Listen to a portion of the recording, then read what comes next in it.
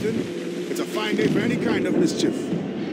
What's your feeling? I'll make no secret of wanting to see the British brought to heel. If we can take their gold and put it to use ourselves, I'd be a happy man. You've spoken like a true Welshman, Edward. And what's your aim? Master Kidd hinted at the price he was willing to show me down. Some distance away, the Peninsula.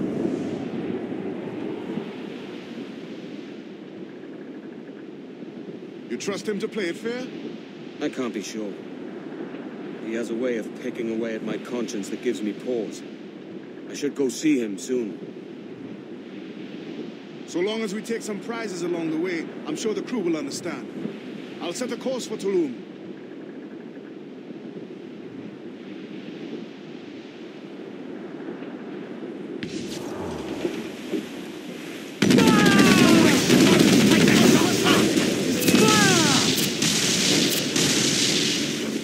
Give me some speed!